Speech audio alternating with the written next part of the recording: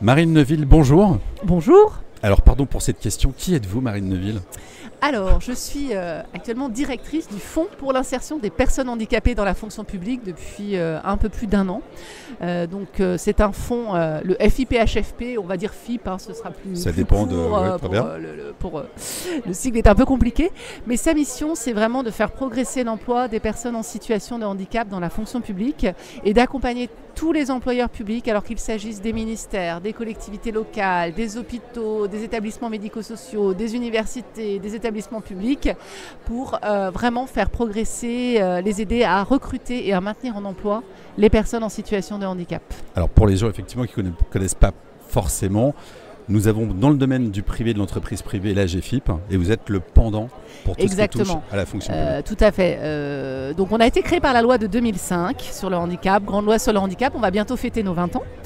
Et, euh, notre mission, c'est effectivement de, collecter bon, les déclarations et les contributions des employeurs publics qui n'ont pas 6% de personnes en situation de handicap, puisque c'est aussi un objectif et une référence, on veut même aller au-delà des 6%.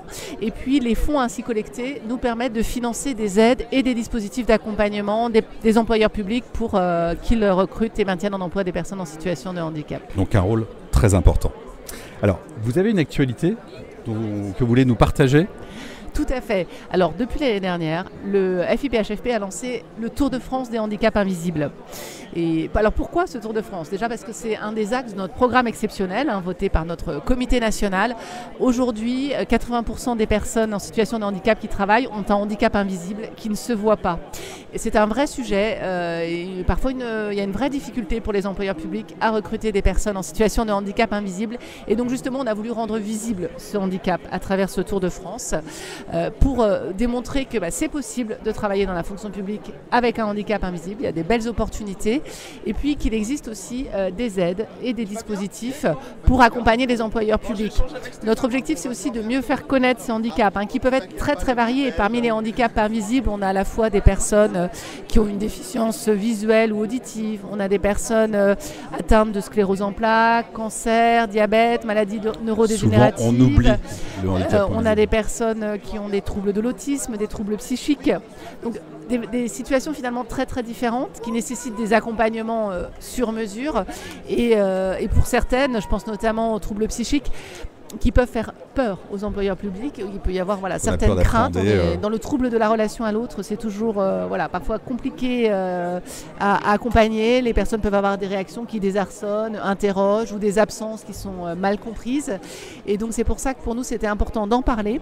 Dans chaque étape, on fait intervenir, euh, chaque étape est axée sur un handicap invisible différent et on fait intervenir un spécialiste pour déjà connaître le handicap et mieux connaître aussi ses impacts sur la vie quotidienne euh, des personnes et sur leur vie professionnelle. Parce que quand on connaît et qu'on comprend, euh, voilà, le regard, ça change le regard et on sort parler et l'expliquer. On, lève les craintes, les fantasmes, toutes les projections qu'on peut avoir et qui sont absolument euh, pas fondées. Et puis à partir de là, on fait aussi intervenir des employeurs publics et des personnes en situation de handicap pour euh, par le témoignage aussi montrer illustrer, très concrètement les, difficultés qui se posent parce qu'il ne faut pas se le cacher, c'est pas toujours simple hein, de travailler au quotidien avec une personne en situation de handicap, mais il y a aussi des solutions d'accompagnement qui existe pour que ça se passe dans les meilleures conditions possibles. Et puis on a aussi des, bah, très beaux témoignages, hein, des belles réussites, des, belles histoires euh, de personnes qui ont parfaitement trouvé leur place et qui apportent beaucoup euh, au collectif de travail. Et pour nous, euh, ça c'est très important. C'est très important aussi de ne pas rester seul face au handicap parce que souvent les employeurs publics n'osent pas parce qu'ils ne le connaissent pas bien, ils ne le maîtrisent pas bien et ils ont peur ensuite en cas de difficulté, d'être seul et d'être et euh, vraiment euh, dans des situations euh, délicates. Et on sait bien que sur ces sujets-là, pas que, mais sur le handicap, il ne faut pas rester seul. Au contraire, c'est à plusieurs qu'on met en place l'accompagnement et tout. Et Exactement. et donc dans chacune de ces étapes, on invite bien sûr tous nos partenaires, que ce soit le réseau pour l'emploi, France Travail, Cap Emploi, que ce soit les associations aussi qui au quotidien accompagnent les personnes et les employeurs. elles ont un rôle essentiel à jouer. et c'est ainsi en créant, en créant ce réseau d'acteurs que finalement, on, a l'expertise et on a l'appui nécessaire pour euh, accompagner dans de bonnes conditions les personnes en situation de handicap. Ce qui est important aussi pour nous, à travers ces étapes, c'est de parler du handicap, parce que trop souvent, c'est encore un sujet un peu tabou, un peu caché, notamment les personnes en situation de handicap n'osent pas en parler. Or, euh, si on n'en parle pas, bah, on ne peut pas mettre en place des dispositifs d'accompagnement qui pourraient être importants, que ce soit pour aménager le poste de travail, pour aider au transport domicile-travail, pour rendre accessible les outils numériques, par euh. exemple. Et la personne reste en souffrance. Euh, du coup peut s'isoler par rapport euh, à ses collègues. Euh, ça génère des incompréhensions. ça génère des incompréhensions et on peut aller parfois malheureusement jusqu'à la rupture professionnelle. Et ensuite on sait que voilà, quand on a quitté le monde du travail, c'est quand même c'est beaucoup plus compliqué d'y revenir. Donc si j'avais un message à dire, c'est parlez-en. Si vous ne souhaitez pas en parler euh, à votre responsable ou à vos collègues, je peux le comprendre tout à fait, mais sachez que dans, chez chaque employeur public, il y a un référent handicap, généralement au sein du service des ressources humaines, qui est là pour vous écouter. ce sera totalement confidentiel et qui sera là pour euh, bah, voilà, vous mettre en place avec vous tous les outils dont vous avez besoin pour travailler dans de bonnes conditions. Ce que vous venez de dire est certainement important, hein, que les gens nous écoutent. Euh, on peut exprimer des besoins. On n'est pas obligé de rentrer dans des détails de sa vie euh, intime. Tout à fait. Tout à fait. C'est vraiment des besoins dont on parle Exactement. pour travailler. et, ces besoins, ils sont différents selon les handicaps, mais j'allais dire selon chaque personne. Hein. même, même si on a le même type de handicap, on n'a pas forcément les mêmes besoins. Et, et donc, c'est vraiment cette approche par le besoin. Pour bien travailler dans de bonnes conditions, de quoi avez-vous besoin? Ça peut être euh, un aménagement du temps de travail, ça peut être effectivement un bureau ou un fauteuil adapté, ça peut être euh, un environnement euh, sonore ou lumineux aussi adapté qui vous permettent de travailler dans de bonnes conditions. Les besoins ils sont très différents. selon chacun, ça peut évoluer aussi, bien sûr, au cours de la vie de la personne et, compte tenu de l'évolution de son handicap. Et, ces besoins-là, en, en parler, on peut aider et le FIP finance des aides, des dispositifs et soutient les employeurs publics pour qu'il n'y ait pas d'obstacle financier hein, à l'accueil d'une personne en situation de handicap. Il y a, des, solutions. qui existent. Il faut les mobiliser et pour ça, il faut en parler. Alors, il y a un, message très important dont vous vouliez nous, parler, c'est que la fonction publique recrute oui. dans ses différentes branches et un peu partout sur le territoire. Tout à fait. Il y a eu d'ailleurs un salon de l'emploi public euh, le 12 mars dernier, si je ne me trompe pas, le FIPHFP était là, mais avec tous les employeurs de la fonction publique parce que la, fonction publique, c'est énormément de métiers très différents. Alors, il y a, d'abord trois branches, euh, il me semble-t-il. Hein. Il y a l'État, l'hôpital et les collectivités territoriales, donc les départements, les régions et les mairies. Mais donc, c'est plein d'employeurs différents vous avez les ministères avec le siège des ministères à Paris, mais vous avez aussi des services déconcentrés. Je pense par exemple au rectorat du ministère de l'Éducation nationale euh, en province. Euh, vous avez bien sûr les hôpitaux, les établissements médico-sociaux aussi qui s'occupent de personnes âgées euh, et en situation de, handicap ou voilà d'enfants également. vous avez les collectivités locales, les mairies, les départements, les régions, les communautés de communes, les communautés d'agglomération. Vous avez aussi des établissements publics, hein, euh, que ce soit euh, à Paris ou euh, dans les différentes régions. Donc pour parfois les personnes en situation de handicap qui ont des problèmes de mobilité, vous n'avez pas besoin de traverser la France pour trouver un emploi dans la fonction publique. Vous avez forcément près de chez vous un employeur public. Et aujourd'hui, il y a de vraies opportunités de recrutement pour tout un chacun, mais notamment pour les personnes en situation de handicap, avec des métiers très très variés. Hein. Vous pouvez euh, effectivement euh, travailler dans les espaces verts, euh, dans une crèche, être cadre administratif, faire de la gestion de ressources humaines, de la communication, être ingénieur, travailler dans le champ de la culture, travailler dans le champ du soin. Euh, et, de l'accompagnement des personnes. Donc euh, moi je suis sûr que vous trouvez forcément, il y a forcément un métier qui vous convient. Alors pour y accéder, près de chez vous. Alors pour y accéder justement, est-ce qu'on est obligé de passer des concours pour devenir fonctionnaire? Quelles sont les différentes possibilités? Alors, il y a plein de possibilités qui s'offrent. Effectivement, la voie la plus connue, c'est euh, vous passez un concours, vous devenez euh, fonctionnaire stagiaire et ensuite vous êtes titularisé. Mais on a d'autres voies d'accès à la fonction publique, notamment l'apprentissage. Et on a un vrai objectif hein, en termes d'apprentissage pour que 6% des apprentis demain soient en situation de handicap. Et le FIPHFP propose des aides très importantes aux employeurs publics. L'apprentissage, ça peut être une, bonne, une très bonne voie d'accès parce que ça permet aux personnes à la fois de se former et puis de travailler chez un employeur public et ensuite, euh, si cette expérience se passe bien, pour la personne comme pour l'employeur, elles peuvent être pérennisées dans leur emploi. et ainsi devenir fonctionnaires. Rappelons peut-être on a, également aussi. Il n'y a, aucune limite d'âge pour les personnes en situation de handicap. On peut être en reconversion et euh, être en alternance quand on est en situation de handicap. C'est important. Et là, et, là c'est un axe qu'on soutient beaucoup et beaucoup d'administrations de, recrutent, notamment les collectivités locales et les hôpitaux, je dois le dire.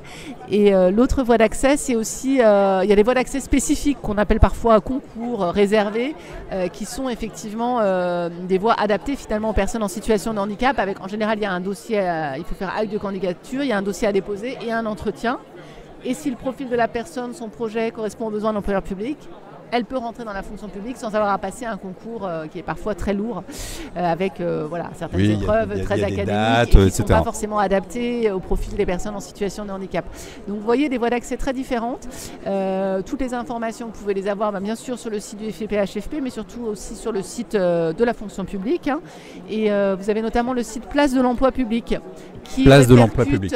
l'ensemble des fiches de poste qui sont proposées par tous les employeurs publics qui agrègent. on encourage tous ceux qui nous écoutent. Si vous avez des, voilà, des, fiches de poste qui vous intéressent, postulez. Hein, la candidature euh, spontanée est encore voilà, le meilleur moyen euh, de, se faire connaître. Et puis bien sûr, euh, pour, dans certains cas, il y a nécessité d'un accompagnement parce que s'il y a une reconversion professionnelle, il peut y avoir nécessité de se former avant d'accéder à certains types d'emplois.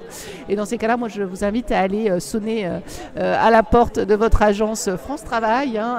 on a mis en place des lieux uniques d'accompagnement souvent dans les agences France Travail, avec des conseillers France Travail et des conseillers Cap Emploi qui peuvent voilà, vous apporter un accompagnement adapté à votre handicap, euh, vous proposer des formations et, peut-être aussi construire avec vous votre projet professionnel parce que parfois on ne sait pas toujours finalement vers quel type de métier on veut s'orienter.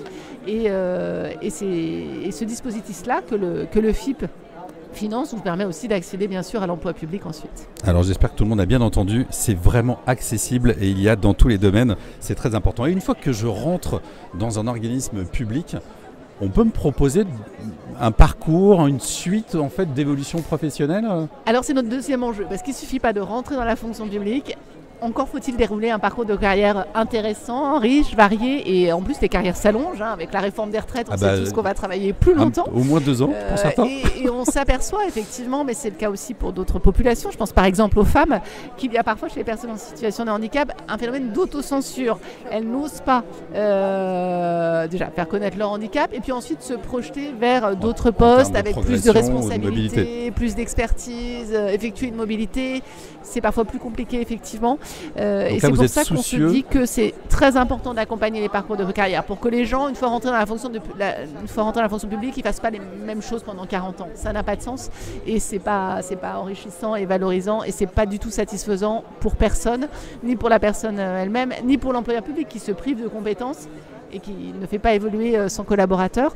Donc c'est pour cela que nous allons lancer une expérimentation avec euh, la Direction générale de l'administration de la fonction publique pour euh, mettre en place un parcours sur mesure individualisé euh, vis-à-vis des agents publics en situation de handicap pour les aider et les accompagner dans leur parcours professionnel. Alors, comme c'est une expérimentation, on va démarrer petit.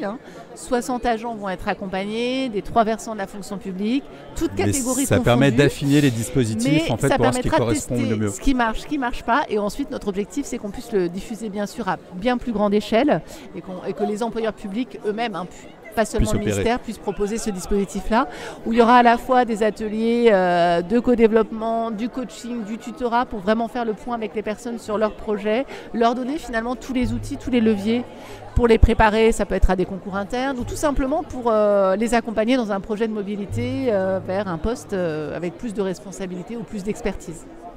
Des emplois et des avenirs pour chacun dans la fonction publique et dans l'emploi public. Merci beaucoup, Marine Neuville. On est ravis euh, de vous avoir accueilli sur talenteo.fr et de pouvoir passer tous ces messages plus que positifs. Merci à vous. Merci, à bientôt. Au revoir.